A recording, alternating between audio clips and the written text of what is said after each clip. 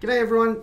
Welcome to another episode of It's All Happening at UTAS live stream. I'm Dr. Jamie Chapman. This is Dr. James Crane. Hi everyone. Um, today we're going to be talking about, well, James is going to be talking about metabolic rate and thermoregulation. So thanks very much for coming along. Don't forget, your involvement's really important. So if you can uh, ask your questions in the chat or let us know you're around, it really helps us know that um, you're participating and if someone's here, we're not just talking to the void.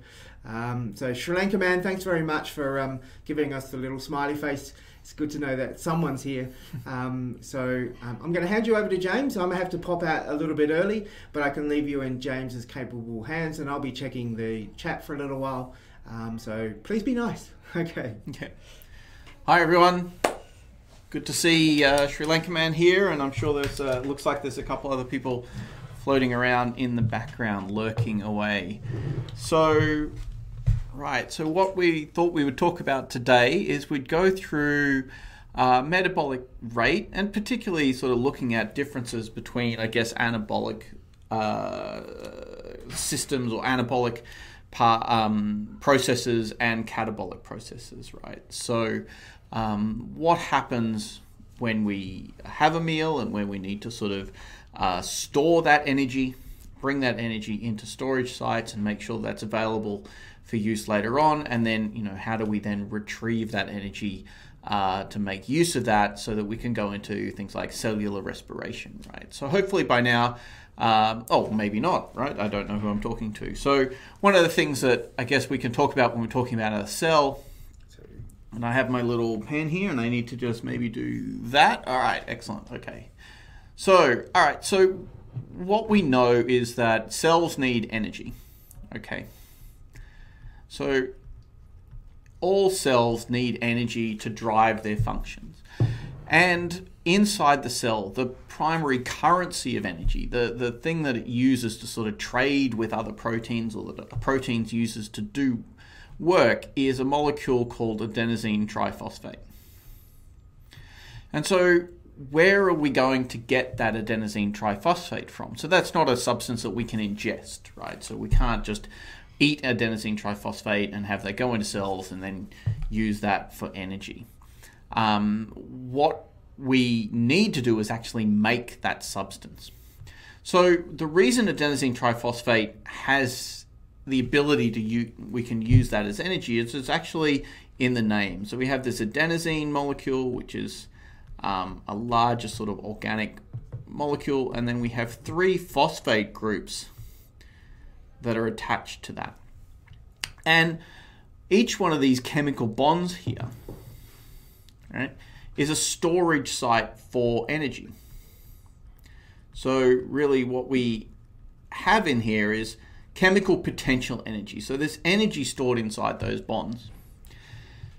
When we're in this adenosine triphosphate molecule, we have the sort of maximum amount of energy that can be stored by this, this particular molecule here. If we then break one of these bonds, so if I take this process and I break this bond off and I release that phosphate group, what comes out of that breaking of that phosphate bond there is energy. So we have a high energy chemical bond here, and this energy that's released can be used to drive functions inside the cell and to make change, proteins change their configuration, uh, and that will drive pumps that will move things across the membrane. It will do a whole range of other things inside the cell. And so when this energy has been released, what we end up with is a molecule called adenosine diphosphate. And while you can potentially also strip that down to adenosine monophosphate, and get a bit more energy off it. We tend to hold on to these uh, phosphate groups with a bit more strength. So these bonds here are a little bit higher energy. They take a little bit more to break. So more often than not, what we end up doing is recycling that adenosine diphosphate back into adenosine triphosphate. And we have metabolic pathways inside cells that lay, enable us to do that, to continually regenerate this adenosine triphosphate. So if we're looking at how do we go about making ATP, adenosine triphosphate, inside cells, so there's there's two primary mechanisms that we talk about, and one of them actually leads into the other one. So the the one, the first one that we have here um, is what we call anaerobic anaerobic cellular respiration. And what this is is you know the the process the cellular process is called glycolysis or glycolysis right? So if you look at this we have glyco which is the prefix that we see when we're talking about glucose. We're going to see this quite a lot. We're going to be talking about other molecules called glycogen, which is a polymer of glucose. So this is this is basically glucose, a, a prefix that sort of represents a glucose uh, molecule, or that we're talking about glucose. And lysis, hopefully you understand, means breaking apart. You know, we can lyse cells. So this glycolysis literally means breaking apart of sugar, breaking apart of glucose. And so this glycolysis pathway produces two molecules of adenosine triphosphate per molecule of glucose. Now that's that's okay, but that's not really a huge amount of energy from a molecule of glucose. What we get out of that is a byproduct called pyruvate. Now, when things are going really, really well and we have lots of oxygen available to the cell, this pyruvate moves into another system and a, and a larger system that involves things like the TCA cycle and electron transport chain, which are a little bit um, beyond certainly the first year subject that we're directing this to mostly, but also, to be perfectly honest, a little bit beyond my expertise as well. Um, so we'll just call this aerobic cellular respiration. And so aerobic means, you know, that's hopefully, you know, you've started to get this idea. Aero, aero means air, so aerobic cellular respiration. Basically, this is a type of cellular respiration that requires oxygen. And so pyruvate gets enters into this aerobic cellular res- respiration process, and the output of that is about maximally, not always, but you know, if things are working really, really well, the maximum output that we can get out of that are 34 molecules of ATP. So together, using aerobic cellular respiration and anaerobic cellular respiration, we can get a total, a maximum total of 36 molecules of ATP from a single molecule of glucose. And so that's that's a really good amount that's going to allow us to drive a lot of cellular functions. Um, this becomes a really important point actually that you know there's big difference between what we the amount of energy we produce when we're dealing in, a, in an oxygen low environment versus the amount of energy that we can produce in an oxygen high environment. The one reason, and as someone that does a lot of neuroscience work, one of the reasons I find this particularly interesting is that you know it explains very much why you know we can't um, hold our breath for 15, 20, 30 minutes and still continue to function.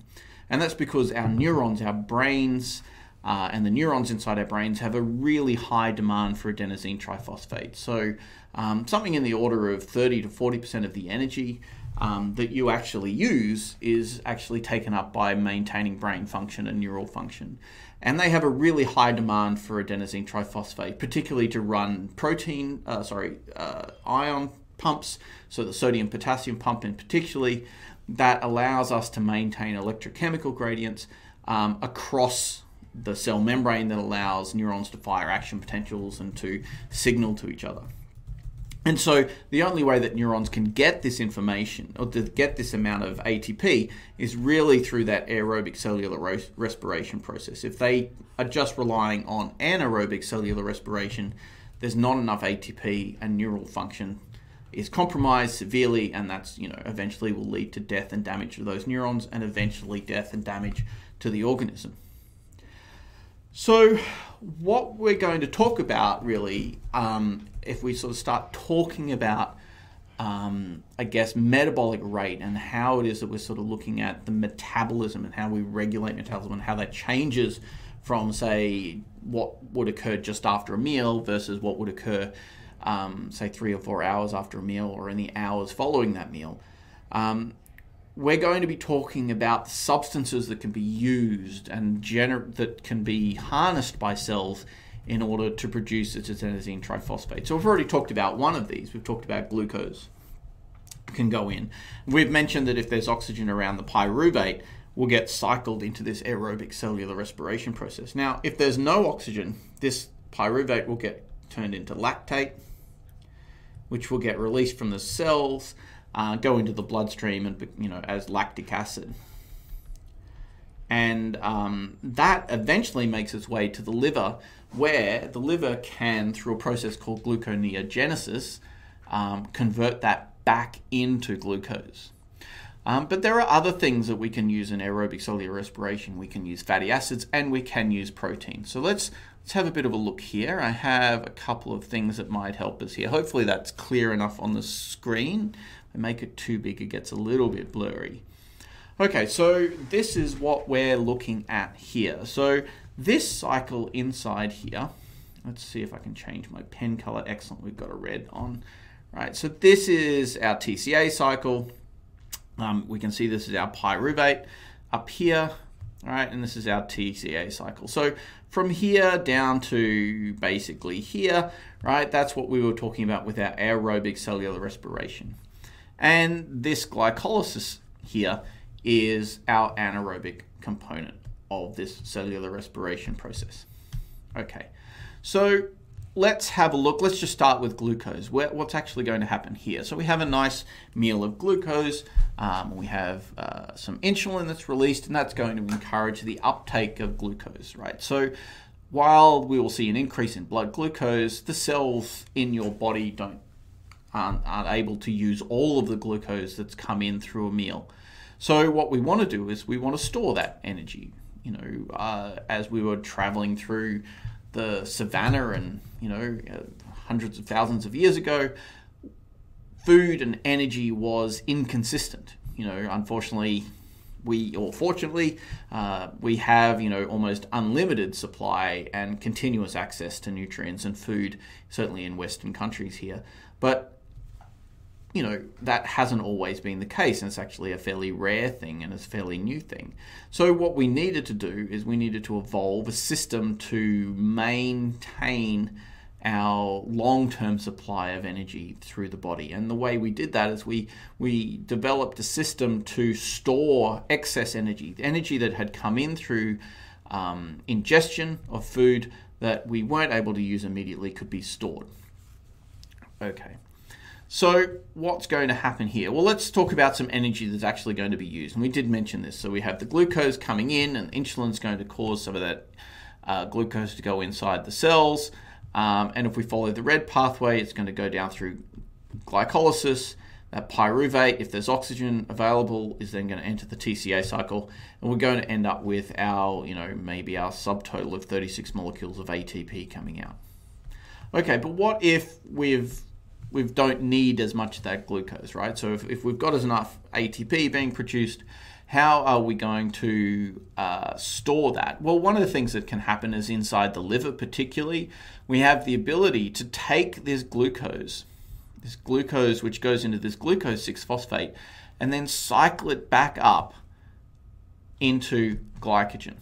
So we have this process called glycogenesis, right? So genesis is making, formation, glyco uh, is going to be sort of again the sort of glucose molecule or glucose polymer sort of related prefix.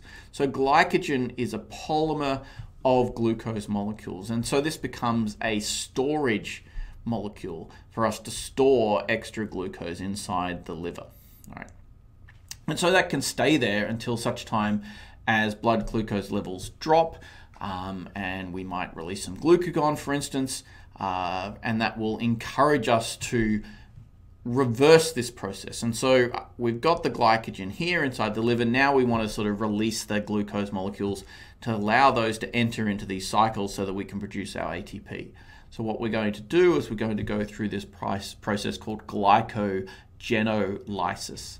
Sorry, so we're going to be glycogen olysis. So the lysis or breakdown of glycogen and that will get us back to our glucose 6 molecule uh, glucose 6 phosphate molecule, which will be able to enter into this cycle to produce our adenosine triphosphate for the cells.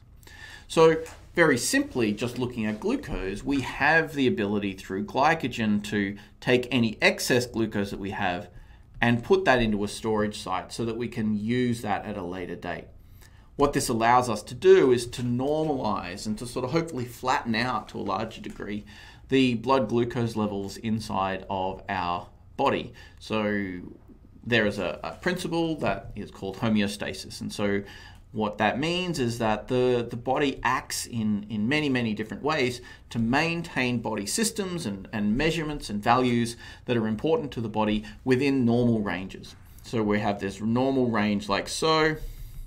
So this might be the upper limit, this is the lower limit. And so blood glucose is going to, hopefully, in a perfect situation, oscillate between those normal ranges. What we don't want to see is excessively high blood glucose and we don't want to see excessively low blood glucose.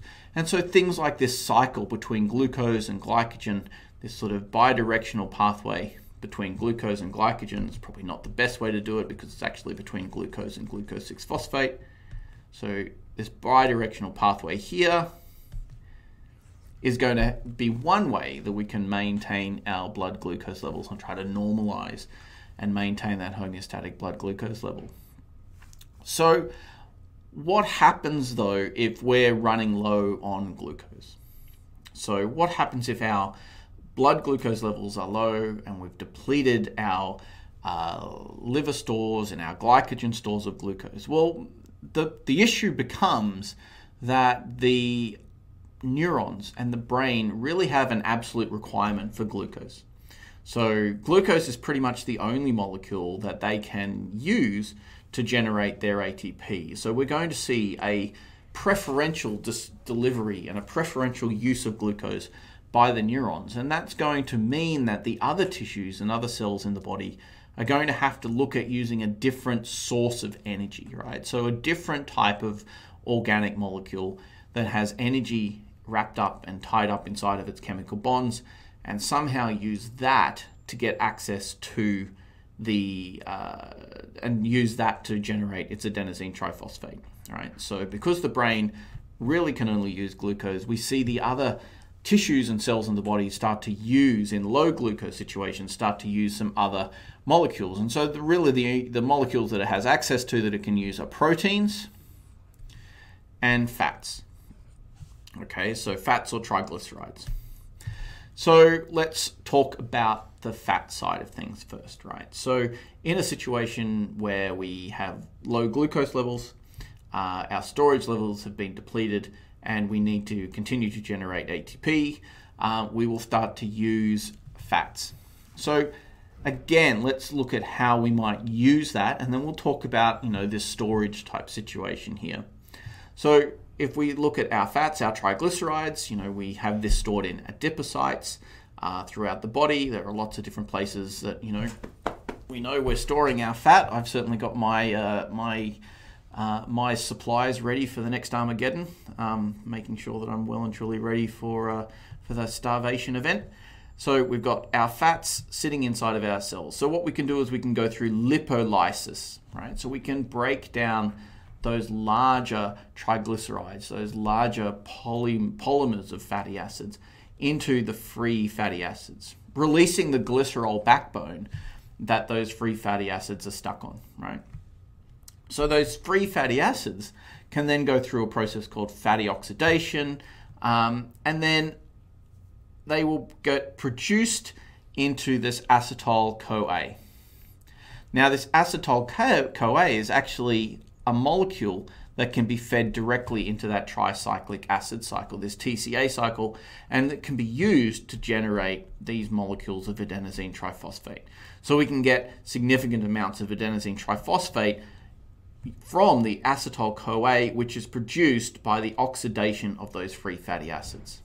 So this means that we have the ability to use fats and triglycerides to generate adenosine triphosphate. Okay. So, part of the uh, issue associated with this, though, is that a byproduct of this and a, and a, and a subs, a, yeah, a byproduct of this um, as we get a buildup of this acetyl CoA is that we get this ketogenesis and we produce these things called ketone bodies. Now, in a normal situation, that's okay. We're able to deal with those ketone bodies, but they are acidic and they will cause acidification of the bloodstream. Um, and they do cause some really, in high levels, they can cause some really toxic events inside the central nervous system. They can cause significant damage to the brain. So, is this lipid pathway the basis of the keto diet? Yes, it is. In fact, we were just sort of talking about that a little while ago, right? So, um, you know, probably the most famous of these keto diets is the Atkins diet. And so the idea was that you avoid as much of your carbohydrates as you possibly can. Um, you maintain a very low glucose and glycogen supply. And what that's going to do is, you know, theoretically, and, you know, it's going to force you to be using fats instead of glucose. Okay, so, and look, you know, there's some validity to that, but, you know, we'll talk about in a little bit fact that unfortunately it's not quite as easy as that, right? This is not necessarily going to be the be all and end all of things, partly because a byproduct that is the product of ketones, and ketones can be toxic and can cause damage, and so you need to be very, very careful about how much ketogenesis you're going through. But then, probably the other thing to keep in mind is let's look over here. It's not just fatty acids and fats that we'll start to use when we don't have enough glucose. We can actually start to use proteins. Right? So we will see that we can go through proteolysis and we'll break down proteins to produce amino acids. And these amino acids, right, can then be used and broken down into pyruvate which again can go into the TCA cycle to produce ATP, right? Or we could potentially go down into alpha ketoglutarate and a few of these other things, succinyl CoA, and a few other different molecules that can also make their way into the TCA cycle to produce ATP. So we don't just use fatty acids when we have a low glucose, we also use proteins.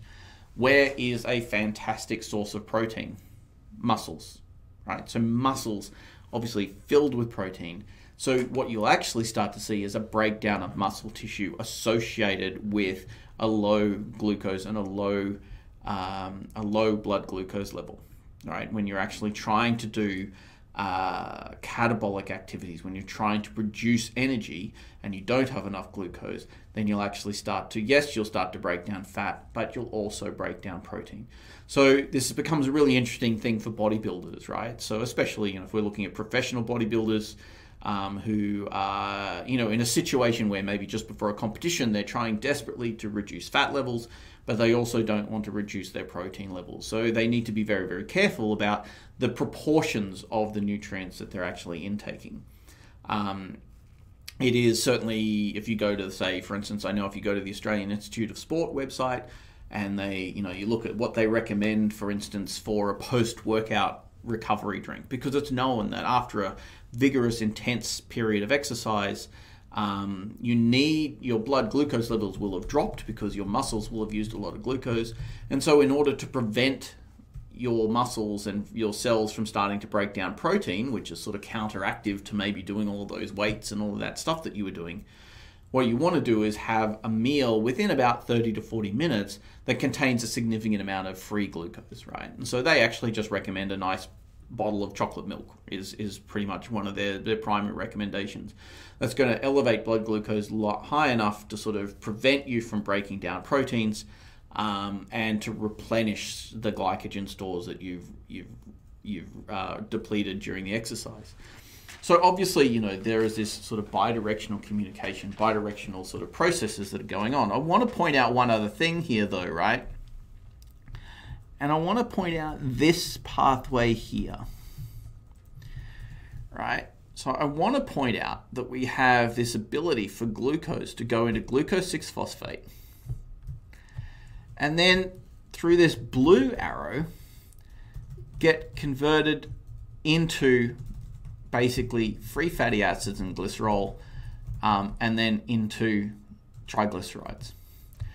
Right. So what I'm wanting to point out here is that a high intake of glucose can also lead to the production of fat, right? So this is a major storage site inside the body. So we have the ability to take our glucose, this extra glucose that we've been eating, and feed that into fat stores, right? So that we can tap into that at a later date. So that becomes a long term storage location uh, for the energy that we've ingested, you know, beyond, say, a glycogen, which is a little bit more readily accessible. So what's the what's the take home message for that? Well, the take home message for that is if you look at a lot of low fat foods, right? Yes, they have reduced significantly the amount of fat that's in that product, but um, because fat is flavor, it's just one of those things. Fat creates a lot of flavor. It's got a lot of um, molecules in there that our taste buds respond to. In order to compensate for the lack of fat, they've usually, and in many cases, have boosted significantly the amount of sugar inside that product. And so, you know, while yes, the amount of fat inside the product is reduced, the amount of sugar has increased. And so, because we're still getting more sugar than we actually need, more energy than we actually need, we start to see a buildup of fat as well, right? So we don't actually lose any weight for it. Unfortunately, the simple the simple message for all of this is that you know there is a simple sum of the amount of energy that comes in minus the amount of energy that goes out um, and whatever's left over, we're going to try to store.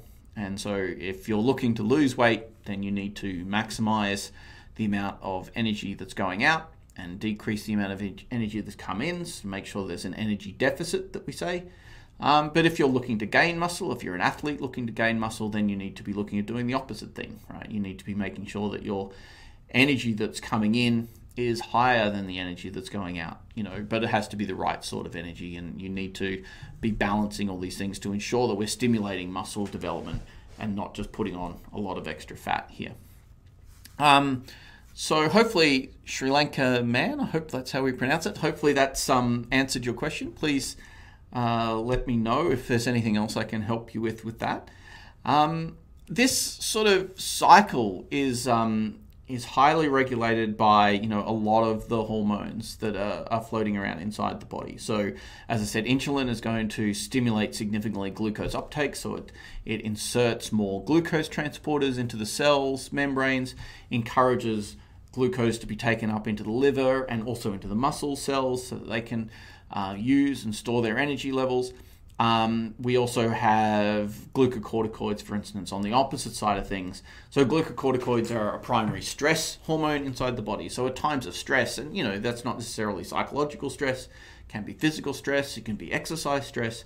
But in, in those periods of time, we're going to be causing glucocorticoids to be released, and they're going to stimulate glycogenolysis and they're going to stimulate glycolysis and they're going to stimulate the production of glucose and the feeding of that glucose into the anaerobic and aerobic cellular respiration pathways. So they're going to be facilitating the, the burning of energy.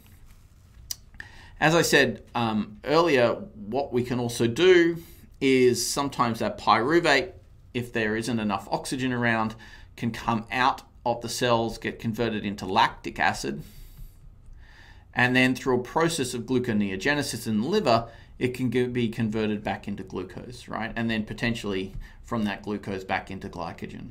So we have all of these nice little pathways and feedback loops in place that allows us to make use of and maximize the the value of the food that we've been eating. And this really again comes back to the fact that energy supplies were very, very inconsistent. You know, you did not necessarily know when you were going to see the next significant amount of food and where the significant amount of energy was going to come from. And this was even more apparent and more prominent during winter periods of time when obviously crops and food is is a lot scarcer. So the cells and the body have developed a whole collection of processes by which we can take in this energy, store this energy, and then make use of that energy at a later date so that we can um, normalize our blood glucose levels and maintain this sort of homeostatic level as we go through. Okay, so um, I see, unfortunately, so Jamie's just had to step away, so that's so it's just up to me. So you've got me now. So I guess the question that I have, and I, I don't know how many people are out there, is um, please, if you've got any particular questions, if there's anything in particular that you would like me to talk about, um, I'll certainly do my best to try to unpack these things for you. Um, it's uh, it's a complicated process, and obviously, you know, we're touching on it at a very uh, a fairly superficial and and I guess probably superficial is not the right word, but an entry level sort of le- um, level of detail. Um, if you were to go into seriously into um, biochemistry, and if you were going to look more detailed at exercise physiology, then there'd be a lot more information that um, would be required, and a lot more information that we could tell you. So, in failing any particular questions or anything that might be brought up about this. The next thing we can talk about, which is part of this uh, section that everyone's been working on recently, is we can start talking about thermoregulation. Oh, let's just get rid of that. Okay. So, thermoregulation. So, this is again one of these um, homeostatic set points that we're talking about, right? So, we kind of know, and you know, we know over time that the the temperature of the body likes to sit. You know, the normal temperature of the body oscillates between about 37.65 degrees Celsius, about 37.5 degrees Celsius. So we sort of, you know, it'll oscillate and it'll move around, but you know, it'll try to stay within that range. Obviously, when things go beyond that, if we start talking about things like you know fevers. Then you know we start talking about temperatures that have exceeded 37.5, and if we're talk, talking about hypothermia, then we start looking at temperatures that have gone below 36.5. So the question I guess that we have to ask ourselves is so how is it that we're going to maintain this homeostatic uh, level of temperature regulation? And this is actually more of a an interesting question, and it's more challenging than you may actually initially have thought it was going to be. Um, there are a lot of things that are impacting and, and impinging on the body that are going to cause a challenge to body temperature. I mean, it's not too hard to see how external forces are going to cause a significant challenge and can make a significant impact on your ability to main body maintain body temperature. Um, you go out, stand in the snow um, in the middle of winter, obviously, um, with very little clothing on, and you're going to have a really significant challenge to your ability to maintain body temperature. The same thing will happen if you're in the middle of a desert and a 45 degree day with the sun beating down. You're going to have a significant impact and a significant challenge on your ability to maintain normal body temperature. But there's also internal factors that are going to affect your ability to maintain normal body temperature. So, uh, you know, we are constantly producing heat. So, if you look at those metabolic pathways that we were just talking about, only about, um, what is it about? Uh, it has about a 40% efficiency rate, right? So, about 40% of the, um, of the energy that goes into the system comes out as adenosine triphosphate or as energy that cells can actually use. About 60% of the energy that goes into the system um, comes out as heat, right? So those metabolic pathways are a really important way of generating heat inside cells and therefore inside tissues and inside the body, and they are an important part of maintaining our normal body temperature, right? So, you know, significant shifts in metabolic rate um, and in the breakdown of glucose and the production of ATP are also going to have a significant increase in heat production, and that's going to impact and challenge our ability to maintain normal body temperature. So, how are we going to regulate that? So, how are we going to, to first of all detect those changes and then regulate those that body temperature? So, in order to understand that, we, we do kind of need to go back to this sort of I guess the reflex, well, it's not really reflex, sort of a homeostatic mechanisms, right? Homeostatic uh, responses, mechanisms. Let's call it, that's probably a reflex, I guess. It's probably not really a reflex. What are we going to call it? Homeostatic mechanisms. We'll just call it homeostasis. Okay, we'll just get rid of that there. Okay. So, what is going to happen? So, if we're looking at our temperature here, so if this is body temperature, and we uh, have the ability to detect a change in body temperature, so we'll have a receptor that's going to detect that change in body temperature. So we'll put a little triangle there, that means change. So change in body temperature. So that's going to be detected by a receptor. So that receptor in this case is going to be maybe a thermo, well, it will be a thermoreceptor. Right, so that could be a thermoreceptor in the skin, it could be a thermoreceptor deep inside the body, but this is going to detect the change that's occurred in body temperature. That information will then be sent to a control center. So that information will be sent to a control center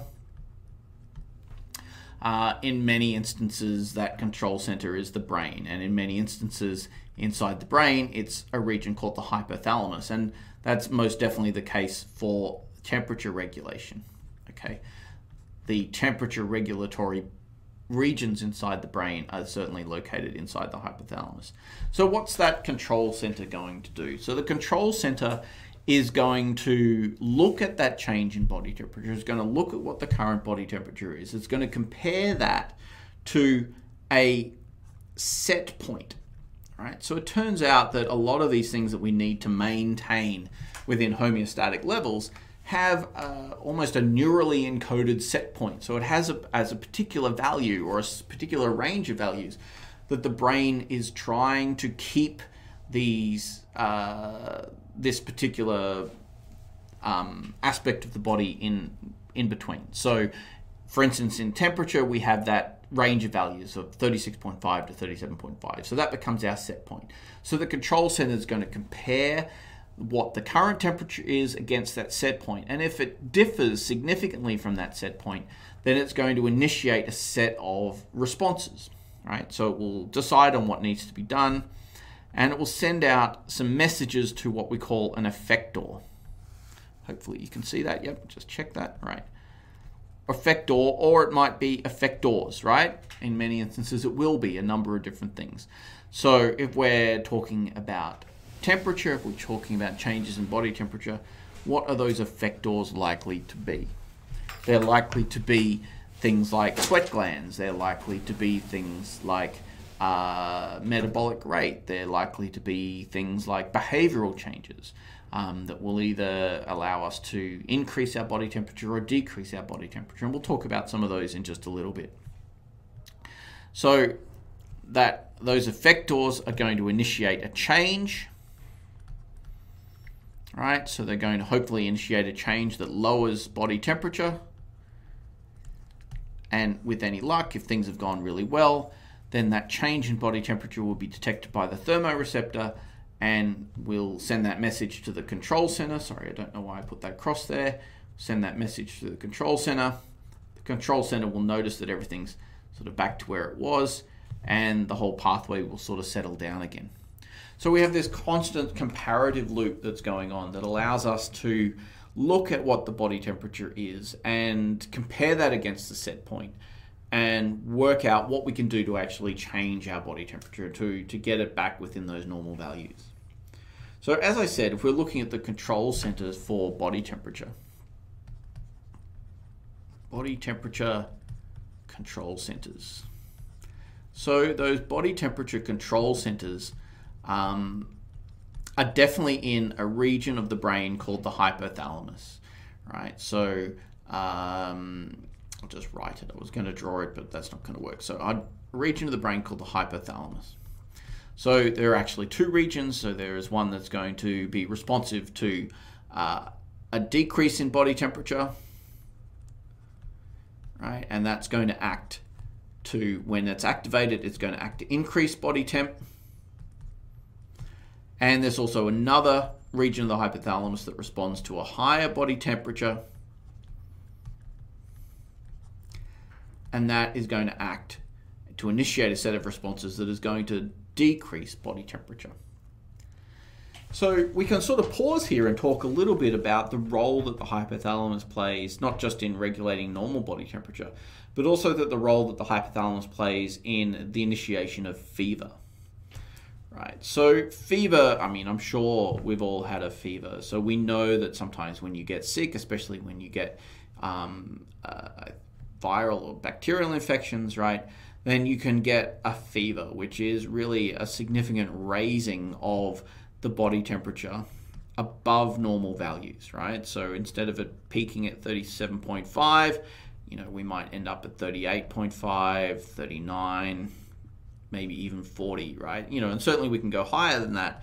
But if we go if we go too higher than say 40 degrees, right? If we start getting up to say 42 degrees or higher, then we start to have really significant problems. And the reason being is that we start to see really significant changes in metabolism, we start to see really significant changes in the function of enzymes that are critical to cellular function, and we start to see denaturing of proteins. So some of these proteins uh, are very sensitive to temperature, and any significant changes in, in body temperature are going to cause them to denature, to basically unravel. They'll, use, they'll lose their three dimensional shape, and they won't function as well. And so without those enzymes, the cells will cease to function as well, and we'll start to see you know significant impacts across a lot of different organ systems.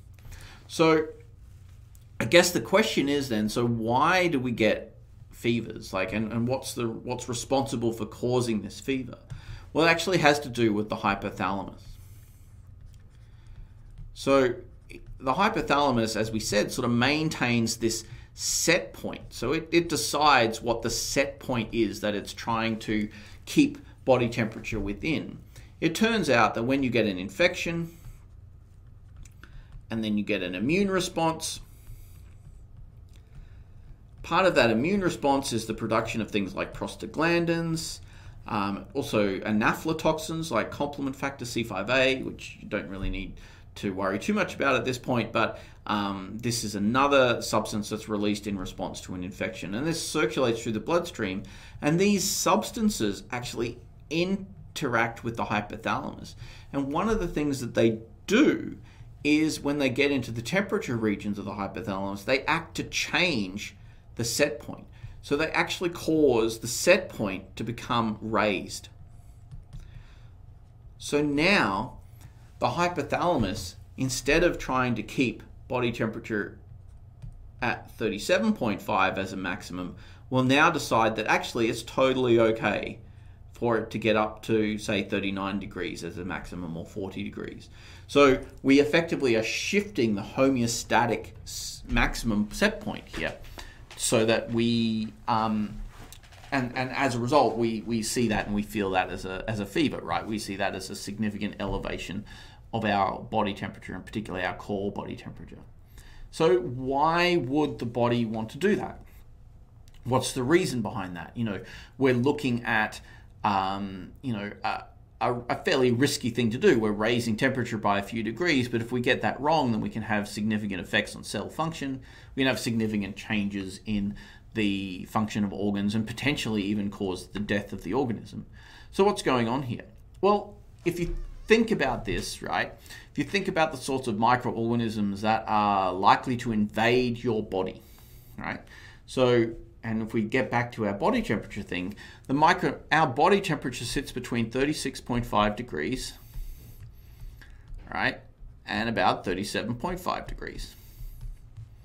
So if you think about the microorganisms that are going to invade your body, then in order for them to have any chance of replicating and surviving and doing all of the things that they need to do, then they need to function really well at 36 to 37.5 degrees centigrade, right? So this actually becomes a really, um, for some microorganisms, these are their ideal situations. This is exactly what they want. Nice, moist, nutrient rich environment sitting at 36.5 to 37.5 degrees. It's like a built in um, incubator for those microorganisms. So it's thought that the idea behind a fever is the evolutionary advantage, the evolutionary drive or push to develop a process that would cause us to raise the set point of our body temperature is that by taking our body temperature up to, let's say, 39 to say 40 degrees centigrade, what we do is we shift the maximum temperature outside the ideal range, right? And so now we don't have this nice ideal range of body temperature. Microorganisms find it harder to reproduce, they find it harder to divide and harder to thrive. So that's going to interfere and impair their function, which will be really good. On top of that, as we raise body temperature just a little bit before we get into significant damage and denaturing of proteins, we'll see an increase in um, a range of biochemical and enzymatic processes that may actually facilitate the role and the function of the immune system. Right. So this, as I said, is a direct effect and it's a direct consequence of the hypothalamus changing the set point, the homeostatic set point. Okay. So let's just quickly, you know, we're getting it like about, where are we? About 15 minutes to go before we hit the hour. Um, let's just quickly talk about, you know, a couple of different situations. So let's say that we are looking at a situation where it's a really, really hot day. Hot day, been outside, uh, we're maybe running, let's say we're running a 10k race on a really hot day, um, and that's causing a significant challenge to our body temperature. So our body temperature is really wanting to elevate, right? And so it's starting to head up. We're starting to move outside of our normal ranges. So if we're looking at our homeostatic levels here, this is our maximum. So we've been doing this and now increasingly starting to move outside of that normal range. And what we obviously want to do is start to bring it back down to the normal ranges. So, what sort of things are we going to be able to do? What sort of effectors are we going to be able to initiate to uh, produce these changes that might uh, allow us to lower our body temperature? Well, really, we can sort of summarize these in, in a few different ways. We can talk about things like autonomic responses. So we can talk about um, particularly changes in the sympathetic nervous system activation. So if we get significant sympathetic nervous system activation, then we're going to, part of that is we're going to see an increase in the production of sweat, right? So we'll see an activation of the sweat glands,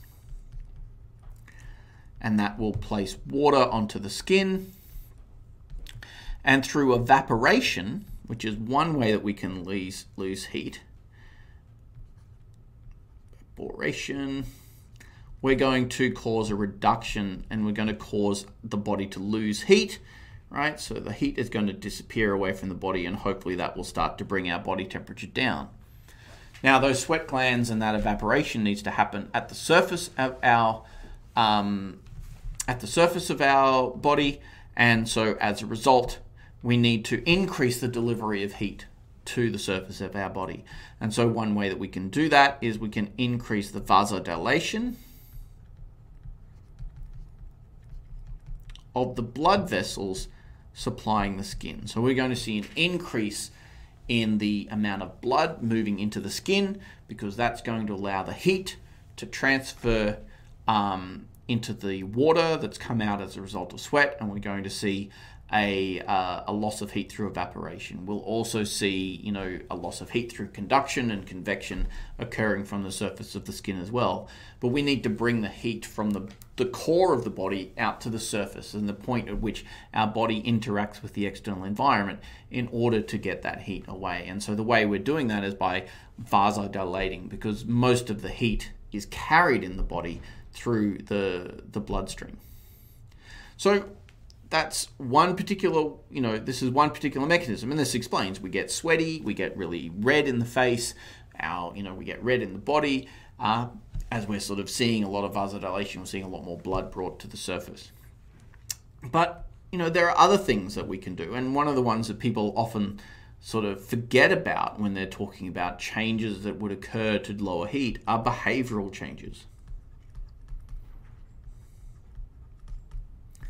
So the hypothalamus doesn't just initiate a whole series of autonomic responses and activate the sympathetic nervous system to cause sweating and thus a dilation of the skin, sort of increase the transfer of heat away from the body. It also initiates a whole series of behavioral responses.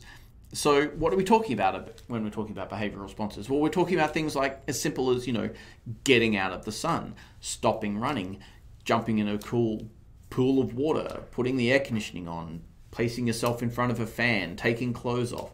You know, these are behavioral responses. These are changes in our behavior that are directed towards lowering our body temperature.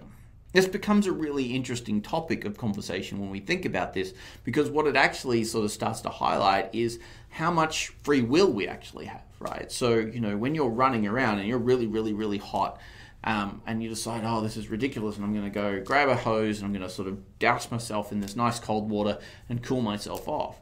The question is, did you choose to do that? Or was that behavior driven by your hypothalamus actively trying to reduce its body temperature? And your conscious perception of that in sort of gave you this sensation and this sense that you were actually choosing to do that action. But in actual fact, that action was determined well before your consciousness got wind of it. And this was actually very much driven by a deeper, older part of the brain that was directed towards lowering your blood, your body temperature.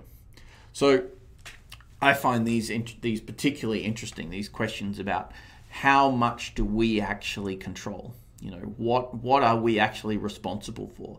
When we get thirsty and we take a drink of water and we go to the tap and we pour ourselves a nice cold drink of water and we drink that, did we choose to do that, or was that osmoreceptors in our body detecting that there were slight changes happening in the ionic concentration of our blood, um, and that we needed to increase our intake of water? And that's what actually drove that response. So let's do the converse then. What's going to happen on a really cold day? So on a really cold day, you know, we're standing out, let's say it's, you know, let's say, let's go really cold, minus 20 degrees centigrade, really cold. We're outside, we're not wearing enough clothing, um, and we're starting to see a significant drop in our body temperature. So what are the sorts of things that we could initiate to do that? Well, again, we could have, you know, a whole collection of autonomic responses. We'll go through those. We could have a whole collection of behavioral responses start thinking about what some of those might be. But we'll also have some endocrine responses in there as well. All right, we'll talk about some of those.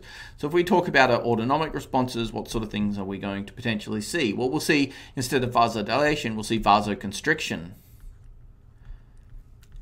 Right, so we'll see a constriction of the blood vessels to the surface of the body because the last thing we want to do is be losing more heat. We're trying to maintain heat and we're trying to sort of keep that heat closer to our organs where the enzymes are and where all of the, the cells that are really responsible for keeping um, our body systems functioning are located. So we want to maintain the heat closer to the core of the body. And so that vasoconstriction is going to limit heat loss and, and keep the, uh, the heat closer to the body.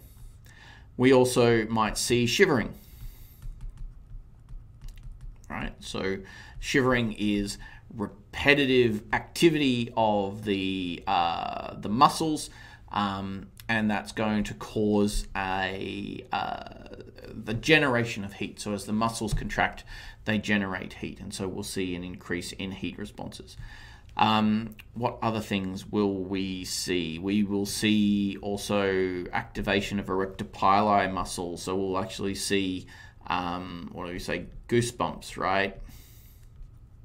and the raising of hairs, right? So raising of hair on the skin.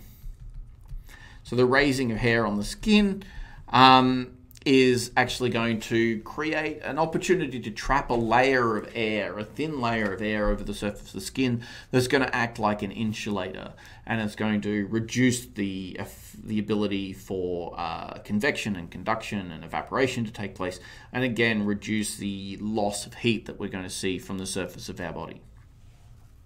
Right, so there are just some of the things that we could potentially initiate that would help us to maintain our body heat. But what about behaviorally, right? So what could we do behaviorally? Well, it's as simple as, you know, put some more clothes on, um, stand in, you know, put on the heater, you know, lots of lots of things. Go inside, move to another country. Maybe that's a longer term behavioral effect, right? But we could certainly see that there's a whole range of different behaviors that, again, are going to be very much directed towards increasing our core body temperature. Um, and again, you can think about, you know, when you're really, really cold and you run inside to put on uh, the heater and stand in front of the heater and put your um, put a nice tracksuit on.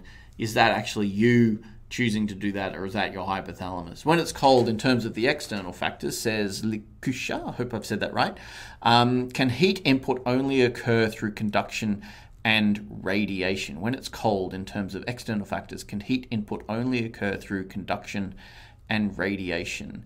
Um, yes, I believe so, and it's probably, yeah, so yes, I would say yes. Um, I can't think what other ways are you thinking that heat could be put into the body. Um, I mean, certainly you're not going to see evaporation um, adding heat to the body. So uh, we're really kind of looking at conduction and radiation happening there. Yeah, I think that's probably the, the answer to that question.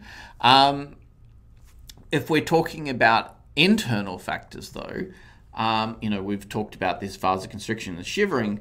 Um, one of the things, and it's sort of related to, I don't know how I got that one. Oh, no. What did I do? Hang on, inspect, go away. Hang on. There we go. Okay. So one of the things that can happen is through sympathetic nervous system activation. It's actually an autonomic response. Um, and this is uh, what they call uh, non shivering thermogenesis.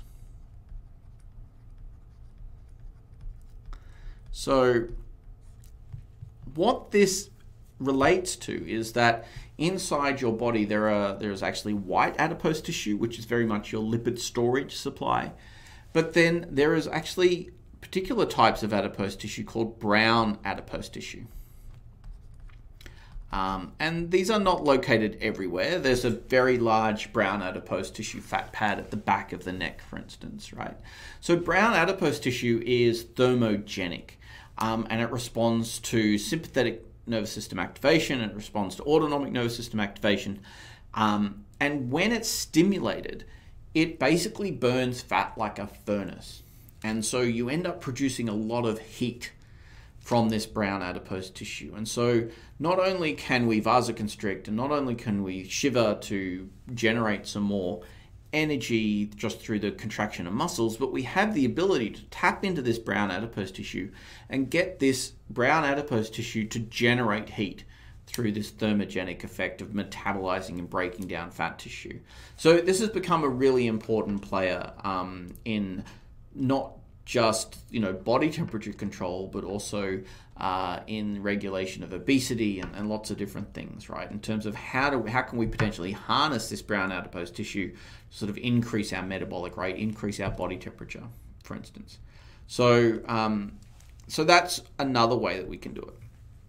The other thing that we can do, and it's sort of related to our brown adipose tissue, we can see endocrine responses, and so you know things like noradrenaline, during release during stress, and again, glucocorticoids released during stress, are going to do things across this whole range of things to change behavior, change the autonomic system, but they're also going to stimulate the metabolic pathways um, inside cells that we talked about at the beginning, where we were talking about the breakdown of fats and proteins and glucose to produce energy. And we talked about just a little while ago that about 40% of that goes into the production of energy and about 60% comes out of heat.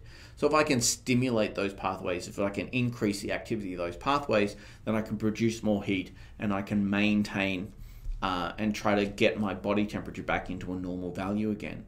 Um, and this is one of the reasons why, you know, if you're living in a cold environment, you know, it provides a significant um, drain on your energy reserves. You know, so if you live for a very long period of time in a very cold environment, you need to ingest a lot more calories than someone living in a hotter environment. Um, and so, uh, so that you know, and that is largely because you know we're we need to stimulate those metabolic pathways harder to generate the heat that we need to maintain a, our core body temperature. So, look, I think at this point we're just about to hit the five o'clock mark. Um, I am pretty much tapped out on what I can tell you um, at my particular level um, about thermogenesis and metabolic rate control and, and, and how these things are linking together. I've tried to make this interesting for you, hopefully, I've been able to sort of highlight some things that you didn't know and maybe give you some interesting tidbits and trivia that you can um, also tell your friends and family about. Um, I will hang around for a little bit longer and see if there are any specific questions. Um, Jamie's left, so I don't really actually know who's out there anymore. I can, I know that there were at least two people here um, because they put some put some messages on the chat group. But um, if you're happy to ask some questions, and please ask some questions or uh, let me know whether you enjoyed the stream. If not, um, I will end up calling this to a close and we will catch you again next week. So I'll hang around online here for another maybe 10 or 15 or 20 seconds to see whether anything pops up on the chat group. If not, I will hit the stream ending button and we will bring the stream to a close. Um, again, thank you very much for participating. Thank you very much for listening in. Um, this is something that Jamie uh, particularly has put a lot of time and energy in setting up, and uh, we're both really hoping that this will become something that uh, we see as being a real, you know, that you will enjoy and that will become a real support for people, not just in our program, but also um, in other programs across the world, and you know, even high school students and and just general people who are just generally interested uh, and want to know a bit more about how the body actually functions. Okay, so um, it doesn't appear as though there's much more going on, so I'm going to say goodbye. Thank you very much for listening. Thank you very much for your attention, and I will catch up with you in the next stream.